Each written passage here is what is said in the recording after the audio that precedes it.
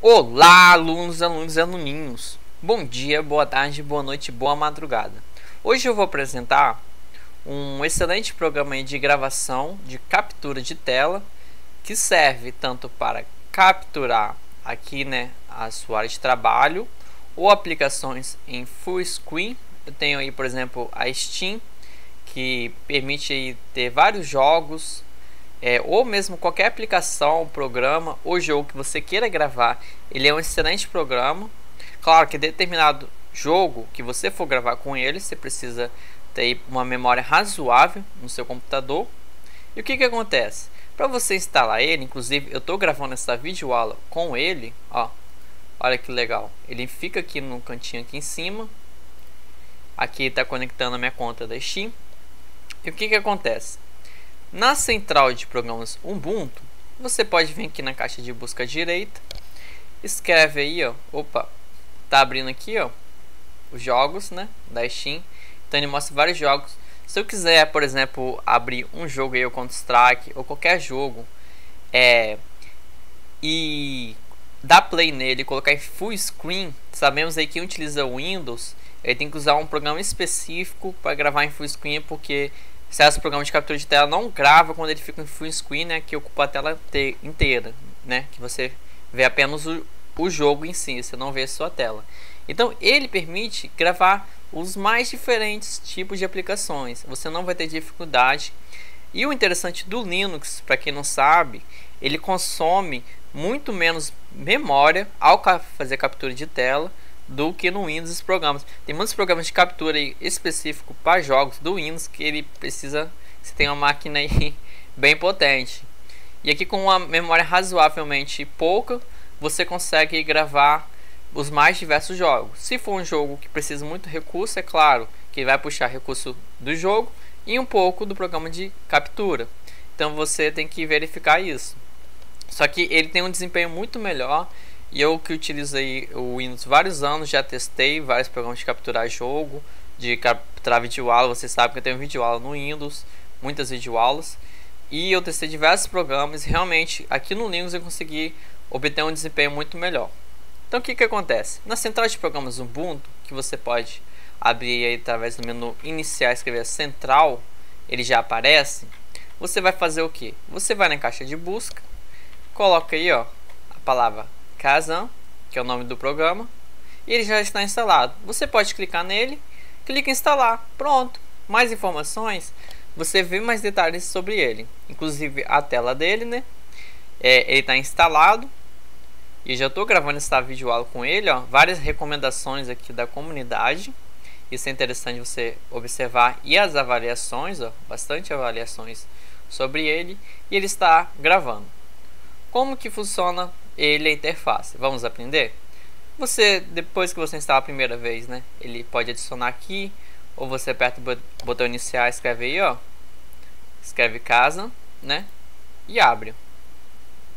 Você vai abrir a interface dele. Olha só.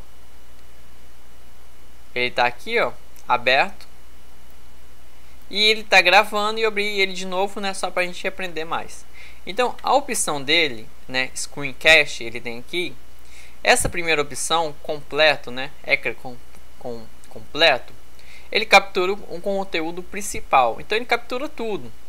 Se você quiser especificar uma janela, você tem essa opção. Então, vamos fazer um teste. Ah, deixa eu abrir aqui um, um, uma janela. Deixa eu ver o que eu posso abrir. Por exemplo, a Steam.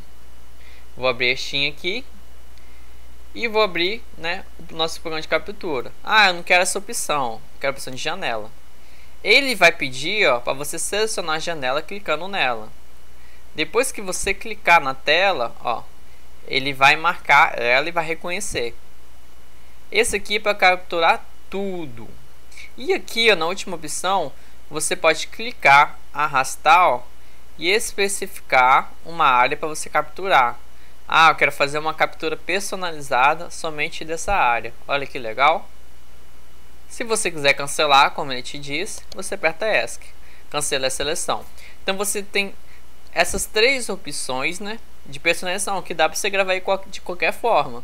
Uma tela inteira, uma janela específica ou uma área personalizada. Aqui embaixo ele permite você gravar, capturar o, mouse, né? O cursor do mouse, som do microfone e do speakers, né?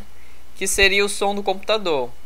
Então aquele som que você ouve na sua caixa de som, que você vai jogar um jogo, ele vai capturar o som do jogo, por exemplo, e o som da sua voz.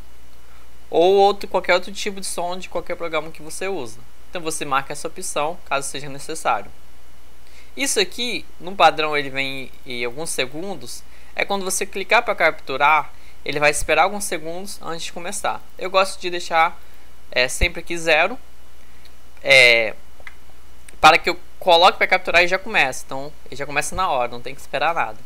Aqui em cima, quando você passa a seta, deixa eu minimizar aqui para nossa tela ficar mais limpa, o que, que acontece? Aqui em cima temos arquivo, preferências. Essas preferências você configura, por exemplo, aí o som do microfone e do speakers, né? Isso aqui é muito melhor de configurar aqui, ó. Você clica na opção de som, configurações de som. Então tá abrindo. Em configurações de som aí, ó, deixa eu colocar aqui. Você tem a opção aqui, ó, de as suas placas, né? De áudio entrada, ele reconheceu meu microfone, ó. Eu estou falando aqui, está mostrando, ó. Então a configuração que eu utilizei padrão que ele grava som muito bom é até aqui, ó. Por exemplo, se eu colocar muito para cá e amplificando esse microfone, o som vai ficando muito ruim. Então você tem que ter aí um bom senso e testando de acordo com o seu microfone. Tá vendo? Você personaliza aqui. Só que lá também te dá essa mesma opção, que você clica aqui e você personaliza o som, tanto aqui como aqui embaixo. Isso aqui é, é, é marcado on, né? É caso erros do programa. Screen Quest, que é a opção mais importante que você deve aprender. O frame, né? Frame rate, que é frames, aí podemos dizer o FPS, frames per second, né? Quadros por segundo. É, você pode personalizar isso, aumentando ou diminuindo. Dependendo aí, você for capturar é, determinados jogos que ele utiliza FPS muito alto, às vezes é interessante você marcar aqui, por exemplo, pelo menos 25 aí de FPS. Quando você faz vídeo aula, por exemplo, aqui no sistema, não precisa tanto disso. Inclusive em 15, a qualidade da aula fica muito boa. Isso daqui que é muito importante, né? Record, record. Você personaliza aí o formato. Então você tem a opção VP8, MP4, AVI, né? Cuidado com a AVI, se você gravar com ele você vai encher seu HD. O AVI é um formato bom, né?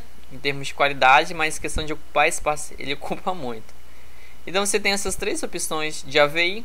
A melhor que eu já testei foi realmente um MP4. Qualidade excelente. Salvar os arquivos automaticamente. Marque sim, interessante. Como a gente tem as pastas no nosso computador, né? De bibliotecas, vídeos, qualquer pasta que seja, você personalizar a pasta. E o nome do arquivo que ele queria padrão pode ser marcado esse ou qualquer um. Então ele vai criar sempre esse, esse nome.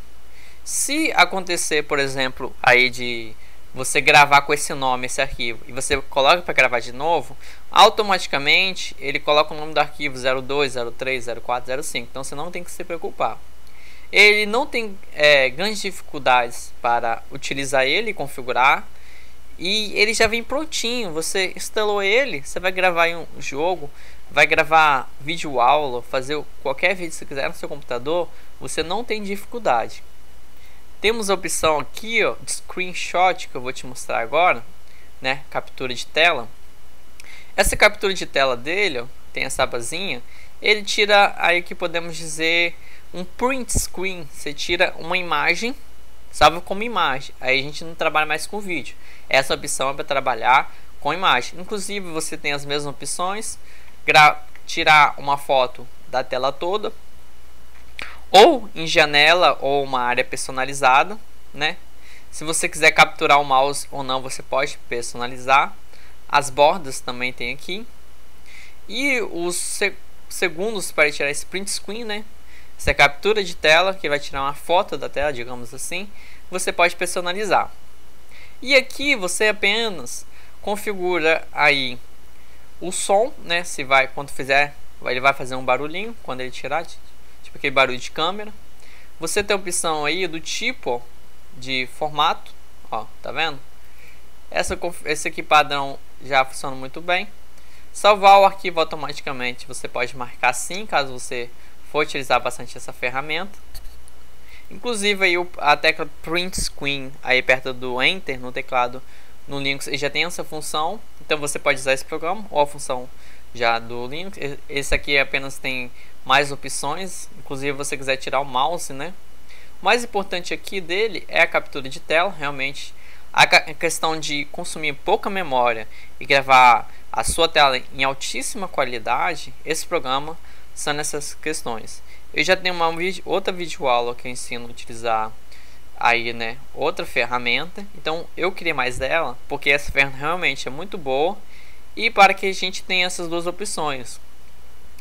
Às vezes em determinadas aplicações uma ferramenta pode funcionar melhor ou não. Então é essencial que você tenha as duas ferramentas, né? Se você não assistiu a nossa outra aula de como capturar a tela, questão de jogos e configurações, temos outro programa e assista. Porque com essas duas ferramentas, por ser gratuitas e bem leves, você captura de qualquer forma, sem nenhuma dificuldade. Ok? Ah, e outra coisa que eu devo deixar aí por último é os atalhos do programa. Então essa parte eu vou falar e vamos ver se vocês anotam, né, para não esquecer. Vou fechar aqui, ó, terminou de mexer as preferências, pode fechar. O que acontece?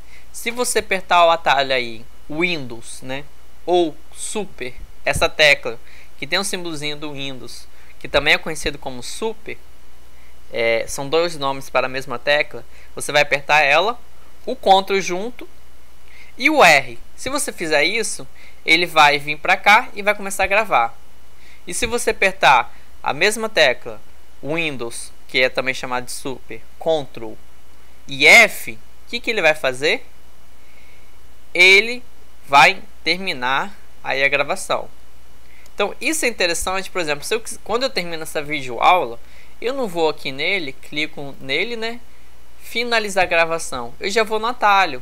Então isso aqui não sai na vídeo aula quando eu venho aqui. Porque ele está gravando. Eu aperto Windows Ctrl F, ele já finaliza a gravação sem eu ter que clicar aqui e aparecer isso na aula ou eu ter que cortar. E a mesma coisa para gravar. Então isso facilita a gravar e finalizar a gravação para que não apareça isso na aula ou gameplay, dependendo de como você fizer. Então vou apertar o atalho e ele vai finalizar. É, Windows Ctrl F.